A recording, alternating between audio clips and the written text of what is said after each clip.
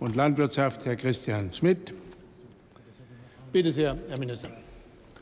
Herr Kollege. Sehr geehrte Kolleginnen und Kollegen, herzlichen Dank. Die Bundesregierung hat sich heute in ihrer Kabinettssitzung mit dem Thema der Prävention der afrikanischen Schweinepest in Deutschland beschäftigt. Es handelt sich bei der afrikanischen Schweinepest um eine schwere Virusinfektion von Tieren, Sie betrifft ausschließlich Haus- und Wildschweine und ist aber für diese tödlich. Für den Menschen stellt sie keine Gefahr dar. Die Tierseuche breitet sich in den Wildschweinbeständen der betroffenen Regionen in Osteuropa immer weiter aus und ist noch circa 350 Kilometer von Deutschland entfernt. Sie ist übrigens in Osteuropa zum ersten Mal im Jahr 2007 in Georgien aufgetreten. Für Deutschland stellt die Einschleppung der afrikanischen Schweinepest eine große Gefahr dar. Deswegen wollen wir sie mit Präventionsmaßnahmen so weit wie irgend möglich verhindern. Insbesondere die Mitnahme des ASP-Virus, eines sehr beständigen Virus, der auch äh, über Wochen, Monate äh, aktiv bleiben kann in kontaminierten Lebensmitteln durch Reisende und Lkw-Fahrer, äh, ist eine große Gefahr, sowie durch die unsachgemäße Entsorgung dieser Lebensmittel. Der Faktor Mensch spielt also eine entscheidende Rolle, da er den Erreger über unsachgemäß entsorgte Speisereste über weite Entfernungen verbreiten kann. Wildschweine fressen diese Speisereste und infizieren, infizieren sich so. Dies ist, wenn der Erreger in die Population eingetragen ist, insbesondere vor dem Hintergrund der hohen Wildschweinpopulation in Deutschland problematisch. Daher hat das Bundesministerium für Ernährung und Landwirtschaft schon 2014, unmittelbar nach den ersten ASP-Fällen in Osteuropa, eine umfassende Informationskampagne gestartet. Ich bin dem Bundesminister für Verkehr und digitale Infrastruktur sehr dankbar, dass er die entsprechenden Plakate auf Autobahnpark- und Rastplätzen an den wichtigen Ost-West-Routen angebracht hat äh, oder anbringen hat lassen und Informationen auf digitalen Informationsstelen zeigt. Es geht darum, möglichst viele Bürgerinnen und Bürger und vor allem diejenigen, die aus Osteuropa im Transit kommen, vor der, äh, dem Wegwerfen von Speiseresten zu warnen. Darüber hinaus haben wir für äh, das veterinärsten zuständigen Behörden der Bundesländer und die landwirtschaftlichen Verbände gebeten, unter anderem Erntehelfer aus Osteuropa mittels Handzettel zu informieren. Über das Bundesamt für Güterverkehr wurden zudem Handzettel an Lkw-Fahrer ausgehändigt. Aber unabhängig vom Verbreitungsweg, ein Ausbruch hätte erhebliche wirtschaftliche Konsequenzen für die schweinehaltenden Betriebe und für den Schweinefleischsektor insgesamt. Deswegen tun wir alles, um die Einschleppung der ASP nach Deutschland zu verhindern. Wir müssen vernetzt handeln, haben deswegen eine enge europäische Kooperation. Ich habe am 19. Januar diesen Jahres mit den Kolleginnen und Kollegen aus den betroffenen europäischen Staaten und der Europäischen Kommission sowie internationalen ähm, Behörden eine Arbeitssitzung in Berlin durchgeführt. Äh, von dieser Konferenz ging das Signal aus, dass wir in Deutschland und in Europa handlungswillig und handlungsfähig sind. Wir haben auch im Agrarrat das Thema diskutiert und ich werde nächsten Montag alle Ressorts, Länder und Verbände zu einer nationalen ASP-Präventionskonferenz einladen. Die Verordnung, die wir heute beschlossen haben, äh, dem Bundesrat vorzulegen, ähm, beinhaltet Möglichkeiten des unverzüglichen Eingreifens zur Vermeidung von Weiterverschleppung der ASP.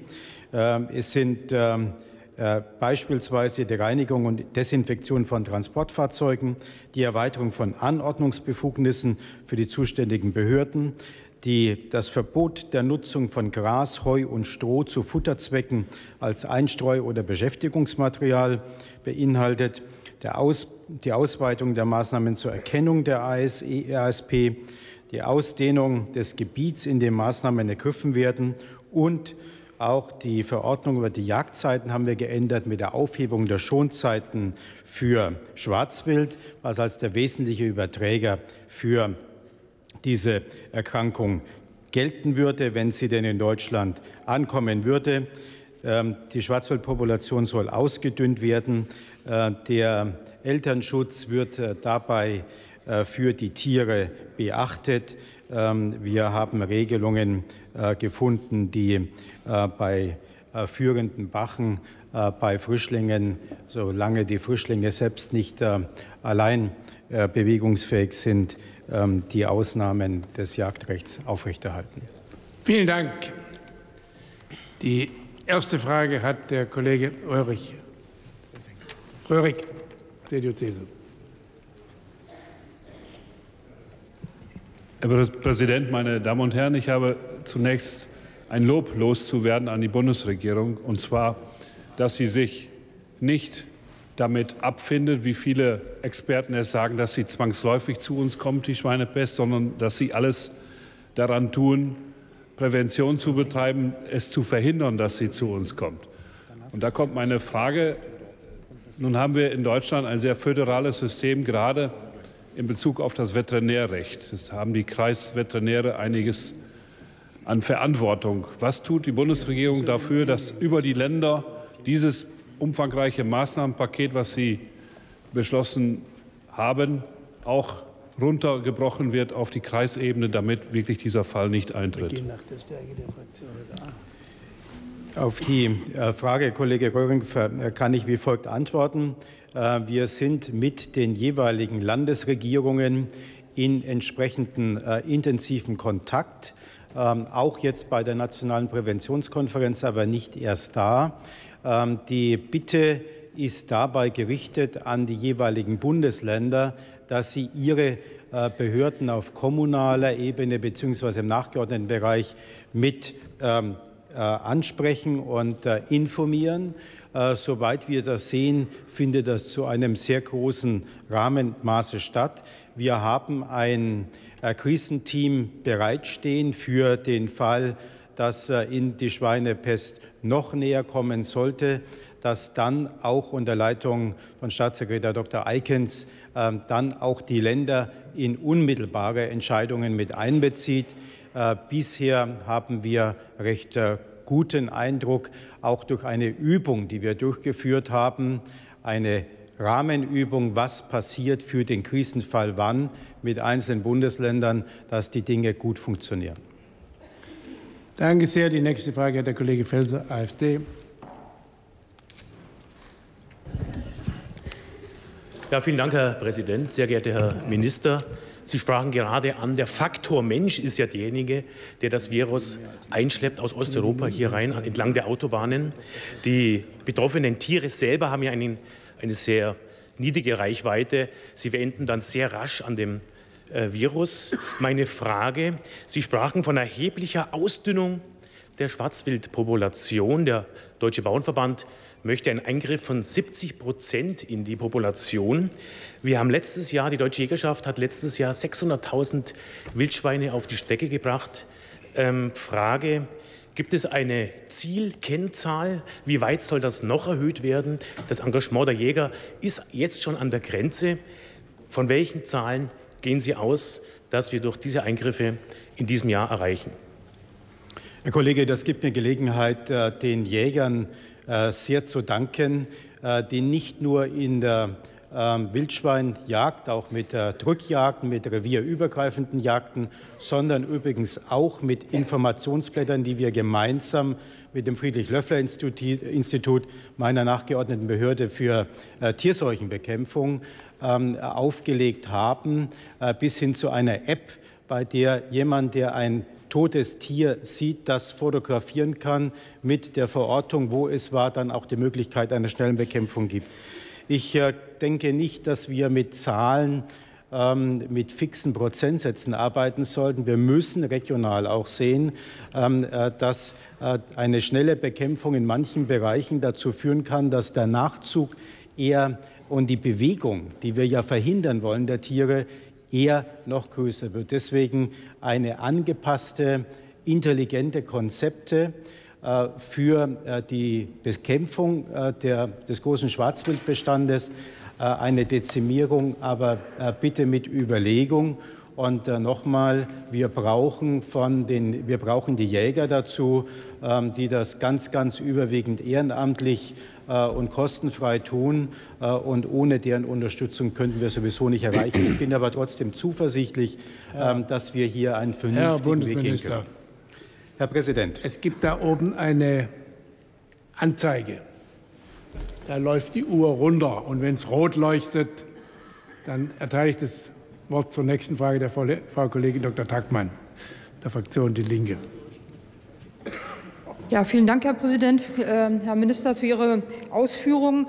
Ähm, Sie wissen ja, dass ich mich mit dem Thema schon sehr lange auch äh, auf verschiedenen Ebenen bewege, weil es tatsächlich schon längere Zeit doch schon droht, dass äh, die Probleme auf uns zukommen. Wir haben im Baltikum unterdessen eine endemische Situation, so wie ich das einschätze. Das heißt also, äh, es ist gut, wenn wir uns jetzt spätestens jetzt vorbereiten. Deswegen nur mal es ist natürlich schade, dass wir jetzt äh, mit einem beschleunigten Verfahren in den Bundesrat gehen. Also ich hätte mir schon gewünscht, dass wir über das eine oder andere vielleicht auch länger hätten diskutieren können.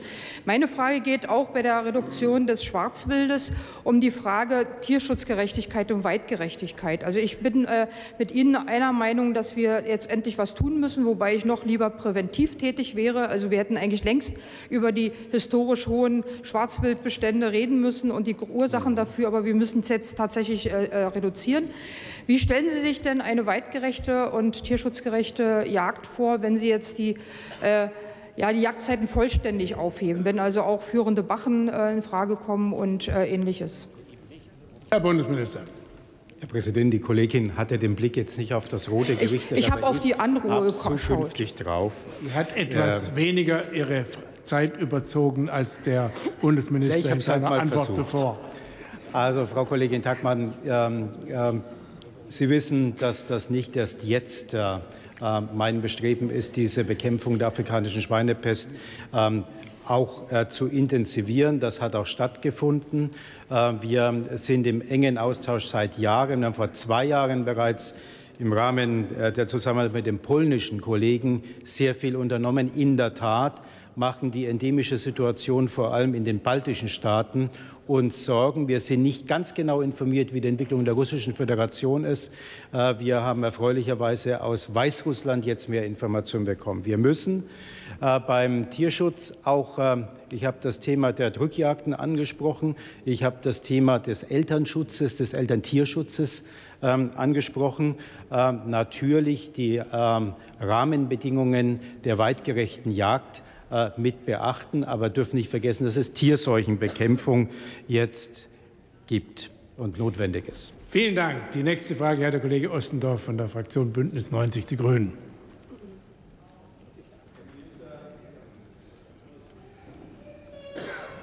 Herr Minister, schönen Dank für Ihren Bericht. Ähm, es wurde schon darauf hingewiesen von Kollegen, dass die Verbreitung ja vor allen Dingen an Überlandrouten stattfindet. Äh, aber auch bei der Entstehung des Virus aus Afrika war das Wildschwein nicht beteiligt. Die Frage, ob man hier wieder sehr schnell Verantwortlichkeit herstellt, wie wir es ja bei der Geflügelgrippe kannten, bei der Vogelgrippe, wo die Zugvögel auf einmal im Visier waren und manche daran dachten, die Zugvögel auszurotten, ist ja jetzt auf einmal zur Wildschweinjagd geblasen. Dass wir zu hohe Bestände haben, ist klar, aber das hat auch nichts mit dieser afrikanischen Schweinepest zu tun. Die Frage ist, wie weit soll es gehen? Wie viel sollen geschossen werden? Was soll intensiviert werden? 600.000 werden geschossen. Was ist die Zielgröße? Was sollen Jäger hier leisten? Wie sollen Jäger das machen? Wie sollen sie das vermarkten, das Wildbrett, bei den verfallenen Preisen? Was soll damit geschehen? Die Fragen müssen beantwortet werden. Die Frage, warum gibt es nicht andere Populationskontrollen? Die sollten äh, gefördert werden. Warum ist hier nichts passiert von Seiten der Bundesregierung? Lieber Kollege Ostendorf, ja, das mit dem Wildschweinbestand, das ist so ein Thema. Ähm, wie ähm, Wildschweine, wie andere Tiere auch, wenn sie breit und gut gedeckte ähm, äh, Tafeln finden, wo sie fressen können, dann äh, ist auch die Vermehrung äh, noch stärker. Ich darf mal daran erinnern, dass wir natürlich auch in der Entwicklung, Stichwort auch der, ähm, äh, der Maisbestände, äh, in Deutschland, auch in anderen Bereichen, dass wir natürlich ein gutes Umfeld schaffen. Deswegen müssen wir auch in diesen Punkten beispielsweise, wenn konkrete Regionen sind, mit der Überlegung der Freischlagung von Schneisen, von Jagdschneisen dort auch agieren. Ähm, das wird in einzelnen Bundesländern bereits äh, angedacht und äh, versucht, und wir sind bereit, das zu unterstützen. Äh, insgesamt ist, haben Sie recht, die Population der Wildschweine allein ist es nicht. Äh, wir müssen im Übrigen aber auch die Impfstoffe, die bisher nicht existieren, dringend weiterentwickeln. Ich bin dankbar, dass über das Forschungsrahmenprogramm der Europäischen Union es gelungen ist, dass wir hier einen stärkeren Impact in diesem Bereich mitfinden. Im Augenblick ähm, haben wir keinen Impfstoff zur Verfügung. Danke sehr. Nächste Frage, der Kollege Dr. Hocker, FDP.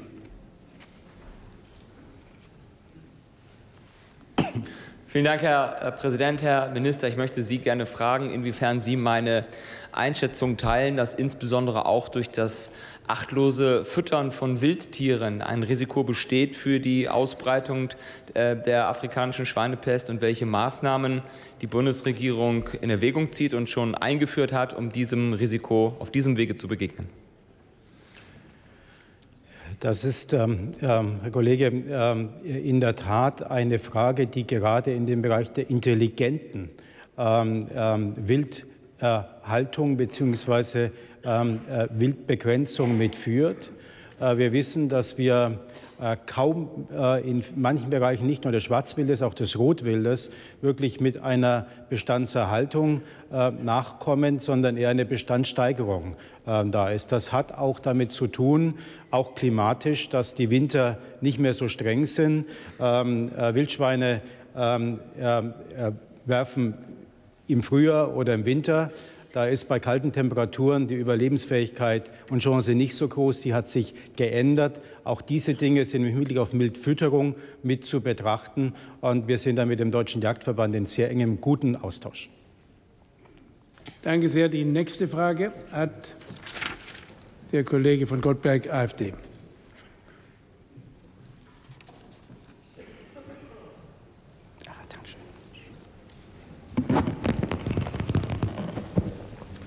Ich bin zwar nicht der Kollege Potschka, aber das macht nichts. Ähm so, das habe ich dann akustisch nicht verstanden. Äh, Herr Minister, ich danke für Ihren Bericht. Ich wollte ganz konkret noch einmal fragen, wie beurteilen die Bundesregierung die Erfolgsaussichten der aktuellen Bemühungen auf Bundes- und Länderebene zur Verhinderung der Ausbreitung der amerikanischen, der afrikanischen Schweinepest? Vielen Dank, Herr Kollege. Ich nehme die Erfahrungen aus Tschechien ähm, zum Beispiel.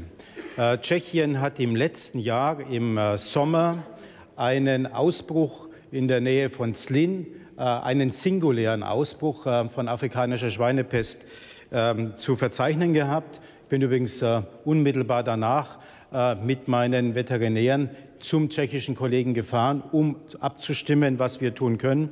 Es ist in Tschechien bis dato gelungen, in einem Gebiet von 40 Quadratkilometern, das sie zum Teil eingrenzen, einfrieden bzw. dort verstärkte Bekämpfung machen, es in diesem Bereich zu halten. Das heißt, das gibt ein Stück Optimismus. In der pandemischen Situation in den baltischen Staaten ist es leider nicht so. Ähm, Polen hat sich sehr stark verbessert, die Entwicklung. Wir haben jetzt einen, einen Einzelausbruch in der Nähe von Warschau. Ähm, allerdings kann man doch feststellen, dass bisher eine große Geschwindigkeit bei der Verbreitung ähm, der Schweinepest, der afrikanischen, nicht festzustellen ist. Ähm, das äh, ist der bisherige Stand. Danke sehr. Jetzt hat die Frau Kollegin Dr. Tackmann noch einmal eine Frage. Nein, das ist leider nach den Regeln bei der Regierungsbefragung, Herr Kollege, nicht möglich. Sie müssten sich noch einmal neu melden. Ähm, Herr Minister, möglicherweise ist das ja auch ein Anlass, ähm, noch mal über andere Strukturen nachzudenken. Also wir haben in Brandenburg beispielsweise, Bundesland, aus dem ich komme, im Süden einen Schweinebestand mit 60.000 Schweinen an einem Standort. Ich stelle mir jetzt vor, dieser Standort kommt in eine Restriktionszone afrikanische Schweinepest. Wir werden wahrscheinlich nicht umhin kommen, diesen Bestand, gesamten Bestand töten zu müssen. Ist es nicht an der Zeit, wirklich ernsthaft mal darüber nachzudenken, dass so eine Megastelle, wie ich sie nenne, tatsächlich auch äh, der Vergangenheit angehören und dass wir tatsächlich auch mal unter Tierseuchenbekämpfungskriterien überlegen, dass wir äh, sowohl viel dichte Regionen vermeiden als auch so eine riesengroßen Bestände, weil es ist einfach sehr, sehr schwierig zu handeln in, in so einer solchen Situation. Ich glaube auch, dass eine ethische Vertretbarkeit einer solchen Maßnahme unterdessen nicht mehr gegeben ist. Und deswegen nochmal meine Frage, müssen wir nicht auch über die Strukturen in den, Tierseuchen, äh, in den Tierbeständen nachdenken? Frau Kollegin, ähm, lassen Sie mich bitte das eine mit dem anderen ähm, nicht so vermengen, dass wir nicht mehr den Blick für die, für die Thematik haben. Hier geht es in erster Linie auch bei dieser Verordnung darum, die Biohygienemaßnahmen einzu, ähm, umzusetzen. Und da haben wir festzustellen, dass, äh, wie, die, ähm, wie wir von der Kommission, der EU-Kommission wissen, in Polen beispielsweise durch die relativ kleinen Bestände an Subsistenzwirtschaft eher die Umsetzung von Biohygienemaßnahmen schwieriger gewesen ist. Das glaube ich jetzt in dem Fall, das ist nicht ähm, das Thema, dass die Konsequenzen die Sie angedeutet haben, auch auf die Frage des Ökonomischen, in solch einer Zone dann alle Tiere keulen zu müssen, ähm, da mag jeder bei uns nur sagen, ähm, äh, äh, Gott behüte, dass wir in solche Situationen kommen. Wir kennen die Bilder von der äh, europäischen Schweinepest. Danke sehr. Die nächste Frage hat der Kollege Ebner von Bündnis 90 Die Grünen.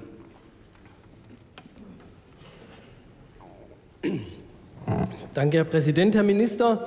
Äh, Sie haben mir geantwortet auf meine Frage nach den Vektoren. Sie haben es eingangs auch schon am Rande äh, erwähnt äh, wer eigentlich so, was, was die Hauptausbreitungswege, wer die Vektoren sind bei der Ausbreitung der afrikanischen Schweinepest. Und wir haben natürlich alle Verantwortung, genau diese Ausbreitung so weit wie möglich einzudämmen und zu verhindern, dass sie sich da weiter auch in unsere Richtung bewegt. Und deshalb äh, möchte ich doch den Fokus auch darauf lenken, auf die wesentlichen Ausbreitungswege. Es kann doch nicht sein, dass wir nur uns auf das schwächste Glied in dieser Kette äh, äh konzentrieren konzentrieren. Hauptsache, man hat irgendwas getan. Deshalb möchte ich Sie fragen, Sie haben äh, die Desinfektion von Transportern angesprochen. Mhm. Wie konkret ist denn das? Haben Sie ganz konkrete Maßnahmen jetzt vorgesehen, dass an den Grenzen äh, sozusagen jeder Transporter, der aus den Gebieten kommt, äh, desinfiziert wird, dass hier untersucht wird, dass geguckt wird, was hier ins Land transportiert wird? Weil das sind die Ausbreitungswege. Hier müssen wir präventiv ansetzen.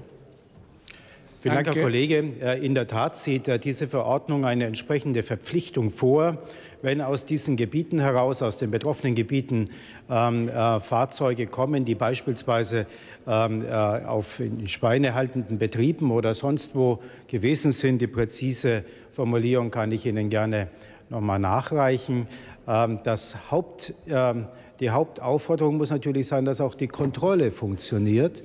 Und ähm, äh, hier muss ein Zusammenspiel zwischen den Veterinärbehörden des Landes, aus dem ähm, der Transport kommt, auch möglicherweise des transportierten Fleischs oder Fleischproduktes und äh, bei uns sein. Das heißt, die Behörden haben hier eine Aufgabe. Es muss auch Nachweis geführt werden, muss dokumentiert werden, die Dekontaminierung in solch einer Situation. Das ist jetzt vorgesehen in der Verordnung, sodass das auch nicht nur auf Freundlichkeit passiert. Lassen Sie mich einen Punkt ansprechen. Nee, ich kann ihn nicht mehr ansprechen, weil der Präsident schon wieder die rote Leuchte hier blinken lässt. Herr, Herr Bundesminister, der Präsident macht gar nichts. Die Uhr läuft einfach von alleine. Aber es sind noch so viele Fragen, dass Sie noch viele Möglichkeiten haben, alles, was Sie für zu sagen notwendig halten, auch zu sagen. Die nächstes, das nächste Recht zu einer Fragestellung hat jetzt der Kollege Busen von der FDP-Fraktion. Sie haben es vorhin kurz angeschnitten, Polen.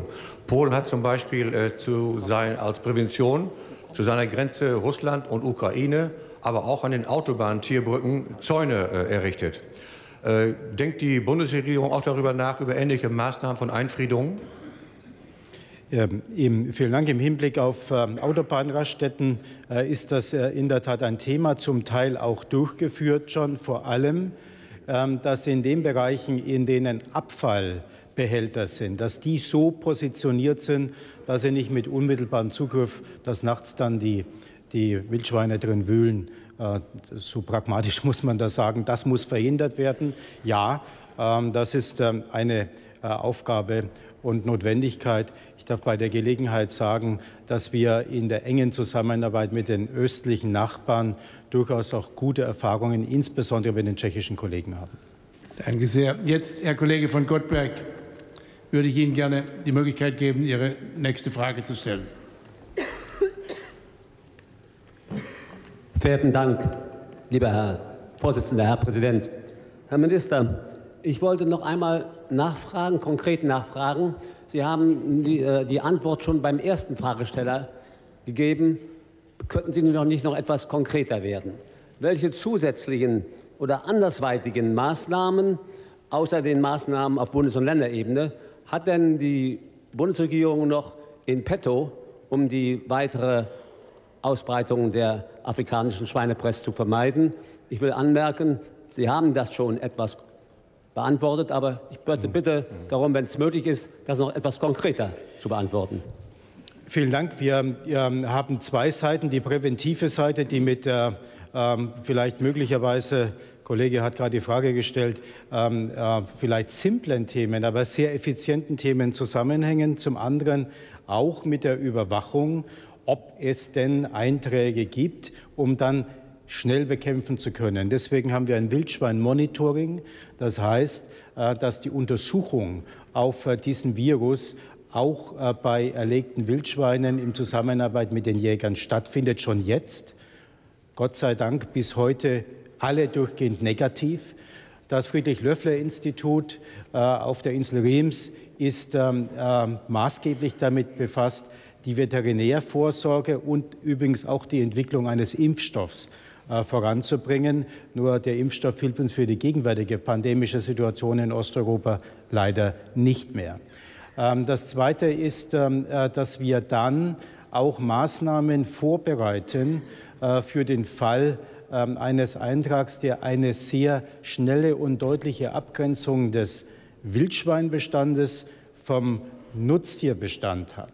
Das heißt, dass wir hier auch Biohygienemaßnahmen einführen und nutzen müssen, äh, die bereits vorgesehen sind.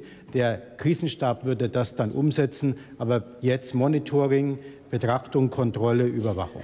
Danke sehr. Die nächste Frage hat der Kollege Keckeritz von Bündnis 90 Die Grünen.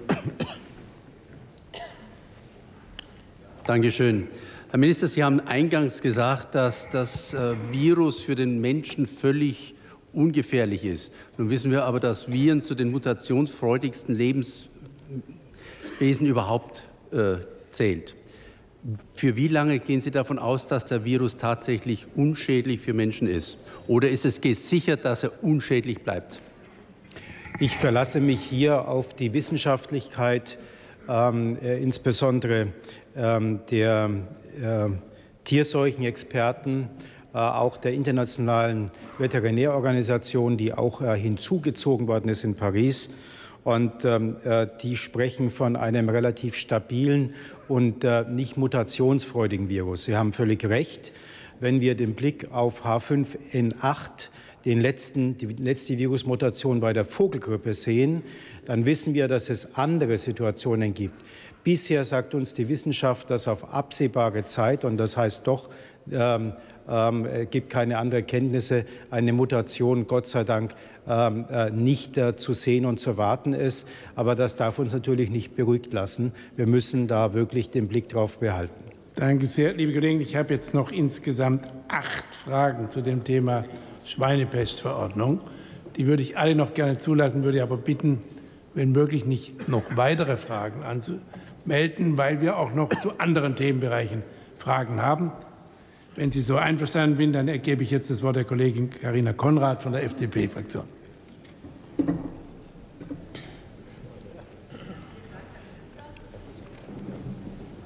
Ich fasse mich auch kurz. In der letzten Woche wurde ja durch Medienberichte bekannt, dass im deutschen Lebensmitteleinzelhandel auch polnisches Rohfleisch vermarktet wird. Und das ist meine Frage, kann und wie kann man ausschließen, dass ähm, infiziertes Fleisch aus Polen bei uns vermarktet wird und äh, dass auch durch den unsachgemäßen Umgang, den Sie eben beschrieben haben, dieses Fleisch bei uns zu einem Ausbruch führen kann? Vielen Dank. Ich darf äh, die äh, Experten des FLI da zitieren, äh, die sinngemäß gesagt haben, ähm, der, äh, das ist nicht der Übertragungsweg, der ähm, der gefährlich ist. Potenziell ist er natürlich da. Deswegen war es wichtig, dass äh, klar und sichergestellt ist, dass diese Produkte nicht aus gefährdeten Gebieten kommen. Ähm, und ich darf allerdings auch darauf hinweisen, ähm, dass in anderen Ländern, wenn in einer Region etwas stattfindet, wir insgesamt ein Interesse haben, dass wir eine Regionalisierung der äh, kritischen Gebiete erlauben wenn in Nordfrankreich ähm, äh, solch ein Virus auftritt, muss deswegen nicht äh, etwas, was in Südfrankreich produziert wird, äh, vom Markt genommen werden. Äh, die Europäische Union ist hier auch in, nicht nur in der Verantwortung, äh, sondern über ihre Taskforce, so nenne ich die, äh, der Kommission auch involviert in die Sicherstellung ähm, der Regionalisierung. Danke sehr, Herr Kollege Ostendorf, bitte sehr.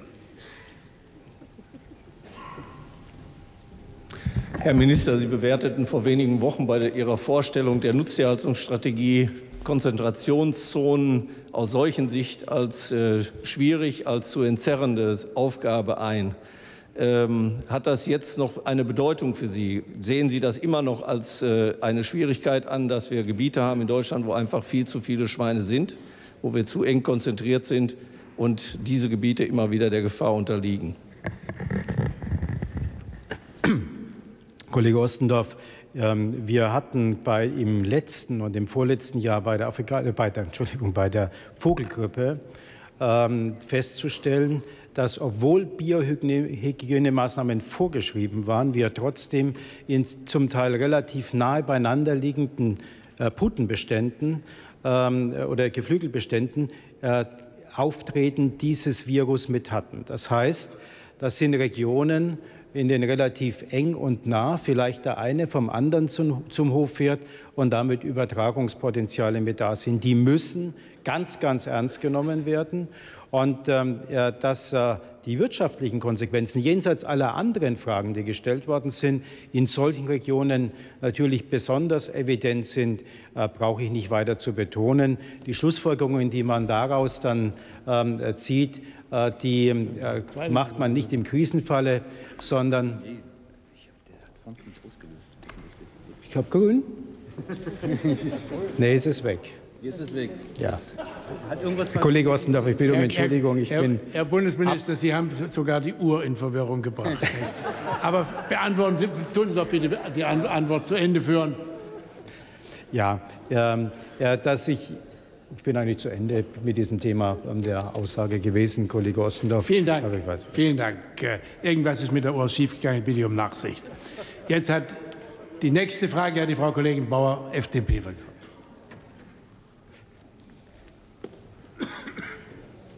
Ich, ja, ich hätte eine Frage. Und zwar, die ähm, Bundesforsten sind ja große Betriebe und unsere Jäger sind ja jetzt sehr fleißig und haben auch gebührt auch großen Dank, was sie schon gemacht haben. Aber was forciert denn der Bund, wenn es darum geht, über gebietsübergreifende Drückjagden auf Schwarzwild in Bundesforsten? Ja, ja wir sind im Bundesforst, ähm, da muss ich äh, die Zuständigkeit an das äh, äh, BMF an das Finanzministerium weitergeben.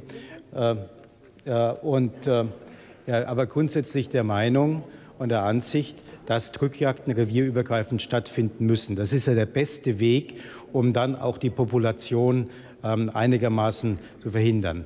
Normalerweise, das heißt außerhalb vom Bundesforst, ist das eine Angelegenheit der Bundesländer die dann äh, das von ihrer Seite aus äh, organisieren bzw. soweit notwendig genehmigen müssen. Aber die, der Bund ist sich seiner Verantwortung in dieser Frage sehr bewusst. Danke sehr. Die nächste Frage hat die Frau Kollegin Pollert von Bündnis 90 Die Grünen.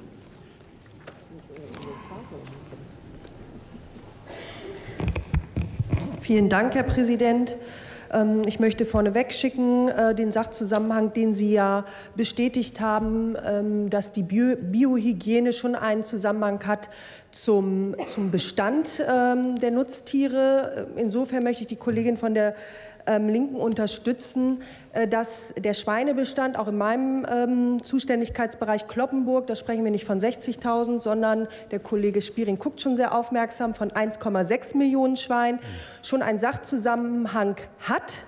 Und insofern frage ich äh, die Bundesregierung. Ähm, der Schweinekonsum, das, der, das, der Konsum von Schweinefleisch stagniert, ist sogar leicht zurückgegangen in Deutschland. Was aber steigt, ist die Produktion trotzdem von Schweinefleisch, weil wir zunehmend exportorientiert in diesem Bereich agieren unter Unterstützung der Bundesregierung. Deshalb frage ich die Bundesregierung, ob sie an ihrer Politik der Exportorientierung festhält und ob sie hier einen Sachzusammenhang sieht. Das, ähm, verehrte Kollegin, das ähm, eine ist die Frage der Tierseuchenbekämpfung. Das ist übrigens nicht nur bei Schweinen, sondern bei jedem Tier gibt es äh, leider äh, Seuchen. Ich erinnere an die Blauzungenkrankheit bei Rindern beziehungsweise an äh, die Lampiskin Disease, die uns aus Bulgarien erfreulicherweise dort mit EU-Mitteln auch stark äh, eingedämmt worden ist, äh, sodass das eine Fragestellung immer ist. Man muss das eine vom anderen unterscheiden, sich aber sicherlich bewusst sein, ähm, dass ähm, Risiken ähm, der äh, Tierseuchen natürlich dann stärker werden, wenn es mehr Tiere gibt. Aber das ist die Frage, wie die Seuchenbekämpfung dann stattfindet. Und bisher sind wir mit unseren äh, Bekämpfungsmaßnahmen ja doch recht passabel gewesen. Ich erinnere, dass die Tierseuchenkasse auch äh, zum gewissen Rahmen den wirtschaftlichen Schaden ja auch ausgleicht. Danke sehr. Jetzt hat die Frau Kollegin Dr. Tackmann noch einmal eine Frage. Sicherlich einig, dass wir hoffen, dass uns äh, der Kelch an uns vorbeigeht. Aber wenn dann doch, dann ist es ja, wie gesagt, jetzt wichtig, über die Dinge zu reden, die dann zu ja. wichtig sind, die funktionieren müssen. Und äh, deswegen meine Frage, wir werden ja auch auf ähm, Amtshilfe von Tierärzten, äh, niedergelassenen Tierärzten beispielsweise äh, zurückgreifen müssen. Äh, wie hat denn der Bund da Vorsorge getroffen, dass das sowohl finanziell als auch rechtlich dann tatsächlich so geregelt ist, dass das äh, nahtlos funktioniert und nicht dann erst darüber diskutiert wird, äh, wie man das regelt? Vielen Dank, Frau Kollegin Tackmann. Sie beschreiben mit Ihrer Frage, wenn Sie mir das gestatten, ohne dass ich die bewerten will, aber genau das gewisse Dilemma, das der Bund hat. Ähm, die Zuständigkeit für Tierseuchenbekämpfung ist ähm, in einem gewissen Rahmen beim Bund, aber ganz, ganz überwiegend bei den Ländern. Und ähm, der Föderalismus ist eine wunderbare Angelegenheit und ich äh, unterstütze ihn und verteidige ihn, wo immer es geht. Es ist aber eine stärkere Herausforderung in der Koordination die Aufgaben miteinander zu sprechen, miteinander zu entscheiden und dann auch im Krisenfalle zügig entscheiden zu können. Das ist die Herausforderung, die Sie eigentlich, so interpretiere ich Ihre Frage, auch damit beschreiben. Das heißt, äh, deswegen auch die gemeinsamen Übungen, auch der Versuch festzustellen, wo es hier Schwachstellen gibt. Wir hatten im letzten Jahr das Thema Stichwort Fipronil, wo sich das wunderbar sozusagen im negativen Sinne nachvollziehen ließ. Und dankenswerterweise konnten wir daraus Schlüsse ziehen, auch für die zukünftige Aufstellung ähm, von Bund und Ländern bei der Tierseuchenbekämpfung und der Europäischen Union. Im Übrigen, wir haben jetzt äh, gerade heute habe ich unseren neuen Chief Officer ähm, äh, für solche riskanten Fälle äh, mit installiert. Danke sehr. Die nächste Frage hat der Kollege Oliver Grischer, Bündnis 90 Die Grünen.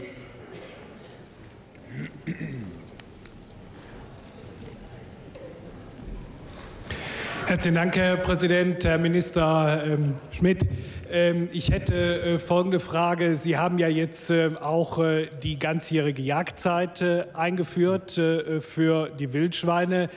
Auf welcher wissenschaftlichen Grundlage beruht eigentlich die Erkenntnis, dass das einen Beitrag liefern kann, um die Ausbreitung der Seuche einzuschränken? Weil es ja auch die Auffassung gibt, dass ähm, die Tiere durch die vermehrte Bejagung, den Jagddruck mehr Schäden mehr Verbissschäden, äh, größere Aktivität entwickeln und damit sogar der gegenteilige Effekt erzielt wird, dass äh, äh diese vermehrte Aktivität auch zu, einer, zu einem hohe, höheren Risiko der Seuchenausbreitung dient. Lieber Kollege Kuscher, äh, in der Tat, es gibt äh, hier durchaus äh, sehr ernstzunehmende Beobachtungen, die eben nicht von der schieren Zahl ausgehen, sondern auch von, also bei der Bekämpfung oder beim, bei der Jagd. Wir sind ja hier an einer Scheidelinie zwischen Jagd und Tierseuchenbekämpfung, ähm, sondern auch äh, der Frage, was sind denn die Konsequenzen? Ähm, die überwiegende ähm, Fach Fachkenntnis und Fachseite sagt, es ist sehr sinnvoll, die Schonzeit aufzuheben, gerade weil äh, in, im Winter, äh, wie ich ja gesagt habe, auch die Fortpflanzung im Wesentlichen bei den, bei den äh, Wildschweinen stattfindet äh, die ja eine hohe Geschwindigkeit hat. Sie wissen, äh, drei Monate, drei Wochen, drei Tage ist die Tragzeit und ähm, äh, so dass das zum Teil sogar mehrfach sein kann. Ähm, ich bin aber beim Begriff intelligente Bekämpfung stehen geblieben. Das heißt, eine flächendeckende Bejagung äh, in dem Sinne nur reduzieren alleine wird uns nicht weiterhelfen. Wir müssen gerade den Blick auch auf ähm, Konsequenzen durch schnelle Bewegung äh, bei den Wildschweinen mit haben. Das hat der Deutsche Jagdverband in einer sehr beeindruckenden Art und Weise bisher sichergestellt und da halte ich es mit den Verantwortlichen. Danke sehr. Jetzt hat der Kollege Hoffmann das Recht zur vorletzten Frage zu diesem Themenbereich. Ja, sehr geehrter Herr Minister, vielen Dank. Ähm, die Reduktion der Wildschweinbestände haben wir jetzt mehrfach gehört, ist natürlich eine sinnvolle Maßnahme, denn wenn weniger Tiere da sind, können sich auch weniger gegenseitig anstecken. Das ist wissenschaftlich, glaube ich, relativ klar. 23.000 Betriebe leben in Deutschland von der Schweinezucht und sie sind natürlich potenziell Gefahren jetzt ausgesetzt durch diese Schweinepest. Und deshalb, glaube ich, müssen wir alles tun, um äh, die, den Infektionsdruck zu verhindern oder den Ausbruch der Schweinepest zu vermeiden. Sie haben vorher die Schonzeit gesagt, aufgehoben. Gilt das nur für ein Jahr oder denken Sie da an mehrjähriges äh, Aufhebung der Schonzeit? Denn ich glaube, das ist auch wichtig. Wir werden es nicht in einem Jahr haben. Und Zusatzfrage noch, Nachtsicht, Nachtsicht Vorsatzgeräte zur Jagd, werden Sie das zulassen? Vielen Dank. Die Schonzeit ähm, ist ähm, unbefristet, die Aufhebung ähm, ist übrigens auch im Rahmen des Jagdrechts der Länder sogar machbar. Deswegen hat, soweit ich weiß, äh, haben Einzelbundesländer das bereits auch schon ähm, so äh, für sich entschieden. Äh, bei den Nachtsichtgeräten ähm, sind wir in einem Abstimmungsbedürfnis mit dem Waffenrecht und mit der Innenpolitik. Deswegen äh, gibt es äh, Anordnungsmöglichkeiten im regionalen Bereich, äh, auch mit Nachtsichtgeräten Bekämpfung durchzuführen, mit beschränkter Nutzung. Ich selbst bin skeptisch, ob wir dem Sinn der Jagd ähm, damit einen wenn wir es flächendeckend haben, einen Gefallen tun. Ich würde dies eher für den Bereich der Tierseuchenbekämpfung dann sagen. Wir haben ein Problem, ähm, dass sich Wildschweine äh, sehr gut verstecken können. Und ähm, das kann man nicht allein mit Nachtsichtgeräten. Es kann im Einzelfall ein funktionales Mittel äh, zur Jagd mit sein. Bei Tierseuchenbekämpfung im Extremfalle dann sogar mehr. Dankeschön. Jetzt haben wir nicht noch eine Frage, sondern noch drei Fragen, weil zwei Fragen waren aus Versehen für die sonstigen Bereiche der, der Kabinettssitzung äh, hier vermerkt worden. Deswegen gebe ich, also Sie haben noch drei Fragen zum Thema äh, äh, Schweinepest zu gewärtigen. Die erste Frage dazu, oder die drittletzte, ist der Kollege Auernhammer von der CDU-CSU. Herr Präsident, Herr Bundesminister, die Diskussion hat gezeigt, dass es kein Nachteil ist, wenn man Bundeslandwirtschaft und Bundesverkehrsminister gleichzeitig ist.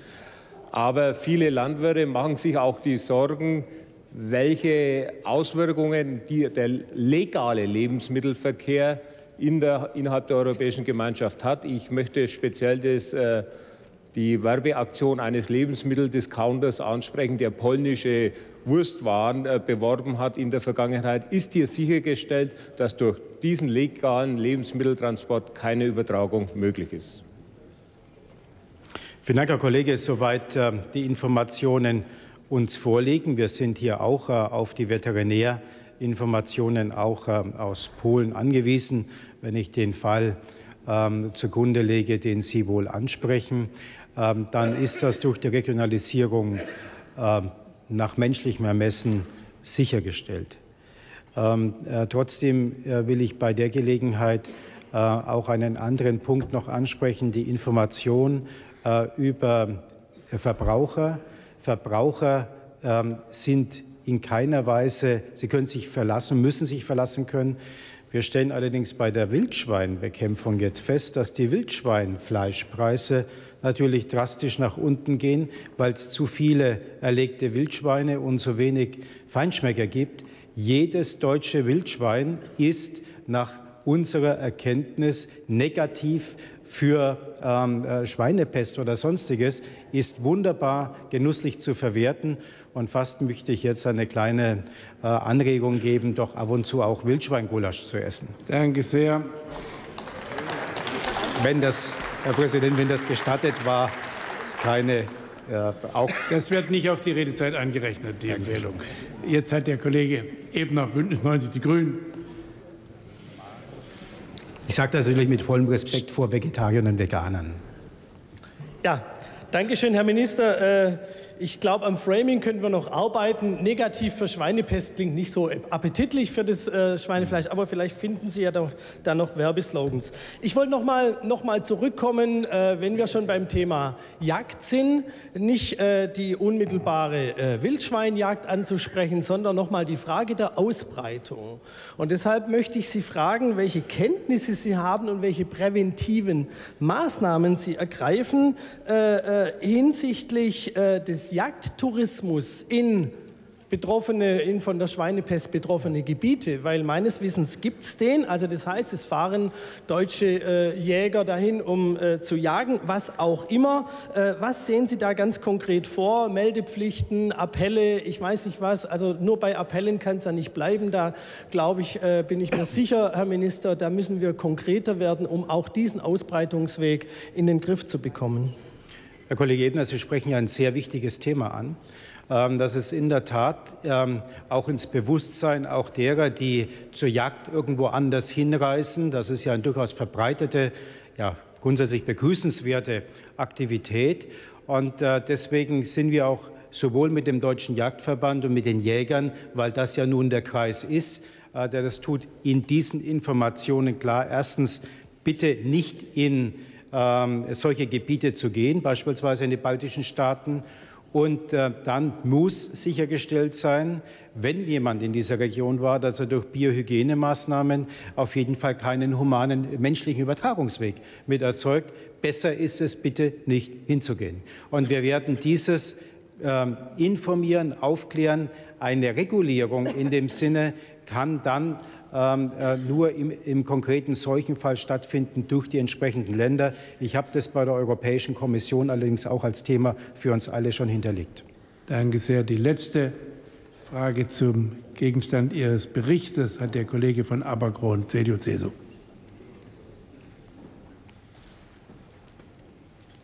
Vielen, vielen Dank, äh, Herr Präsident. Herr Bundesminister, ich komme noch mal zurück auf dieses Thema Lebensmittelimporte. Ähm, wie gut ist der Austausch mit den betroffenen Ländern? Hier ist ja ein Fall angesprochen worden. Sind Sie auch über die regionalen Verhältnisse dort oder werden Sie gut genug informiert? Können Sie sich darauf verlassen? Und zweite Frage, wenn möglicherweise positive Befunde da sind in solchen äh, Lebensmitteln, äh, werden hier auch verdachtsabhängige Kontrollen dann an den Produkten selber durchgeführt? Vielen Dank für die Frage. Zum Ersten muss der Ursprungsnachweis äh, auch geführt werden. Äh, auch derjenige, der das bei uns hier äh, veräußert, muss die Waren, die Ursprungszeugnisse ja auch vorlegen können. Ich nenne das, Wort jetzt untechnisch. Ähm, und zum Zweiten muss dann auch eine Verifizierung stattfinden. Das ist eine Aufgabe der Länderbehörden. Und ich werde dieses Thema, gerade dieses Thema, auch zum Gegenstand der Nationalen Präventionskonferenz am kommenden Montag nehmen. Ähm, hier geht es ja nicht nur um Tierseuchenbekämpfung, sondern um Verbrauchervertrauen. Ähm, und ich äh, denke, ähm, dass wir uns alle in den letzten Tagen bewusst geworden sind, dass man solche Befürchtungen nicht auf die Seite schieben kann. Äh, wir müssen auch hier das höchstmöglich in der Europäischen Union im Binnenmarkt rechtlich zulässiges Maß an äh, Überblick und Kontrolle behalten bzw. erwerben. Vielen Dank.